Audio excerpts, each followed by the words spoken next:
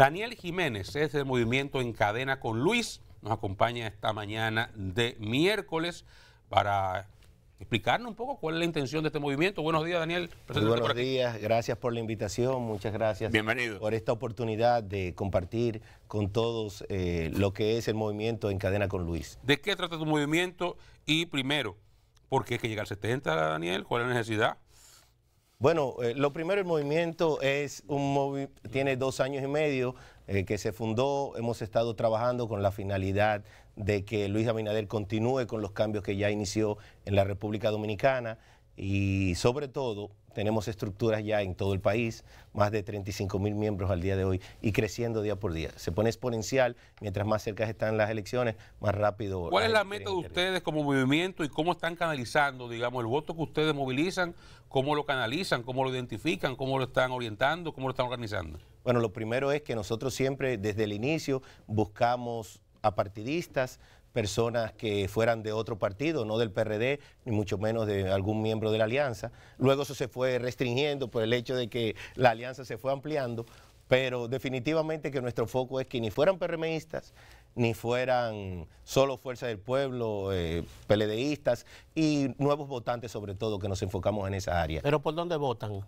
A nivel nacional. No digo, por donde ustedes le dicen, mira, échame el voto por este partido. Sí, ya nosotros tenemos alianzas con un partido por el cual vamos a, a, mandar a votar, pero falta afinar, afinar algo. Ah, ok. una, hay algo que afinar en estos días que le vamos a decir a nuestra logística. pero no, no, bueno, no solo logística, sino aclarar, aclarar posterior a si te vamos a aportar 45 mil votos que le conviene a cualquier partido minoritario, entonces eso eso hay que tomarte en cuenta. Mira, y ahí te veo con Yayo. Tú estás, ese, tú, tú estás, sí, sí, el grupo de gente que trabaja con Yayo. Este movimiento es, es eh, pro Yayo, Yayo es el padrino principal de este movimiento. Así ah, porque lo vi ahí en, en un acto. sí, ese fue un acto que hicimos, que hicimos en el pabellón de la fama del deporte, donde él fue el principal conferencista. este movimiento es para Luis en el 24 y para Yayo en el 28.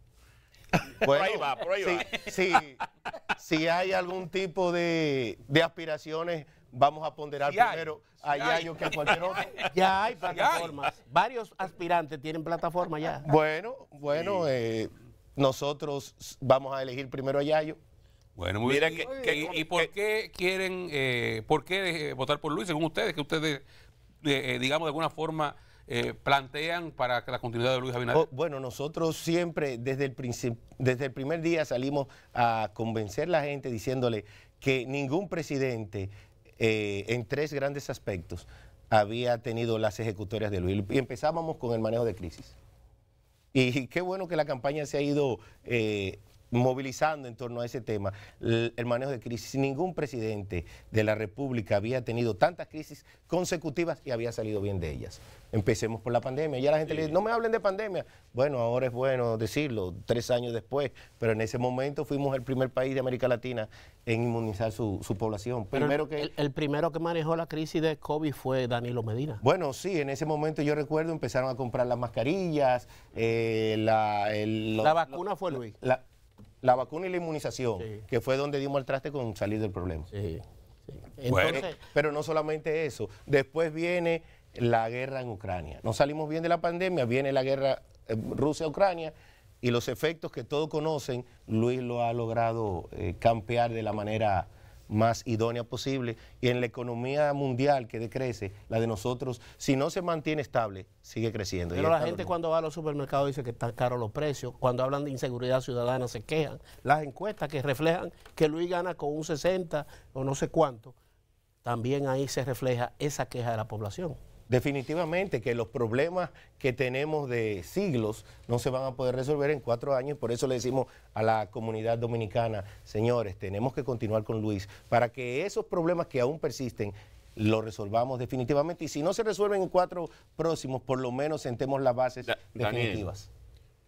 tú te estás iniciando con el PRM y el presidente Abinader ahora o tú vienes de otro partido? No, yo he sido PRDista, PRMista toda la vida. Mi primer voto fue siendo delegado del PRD en una mesa electoral. Recuerdo como ahora eh, Peña Gómez era el candidato presidencial.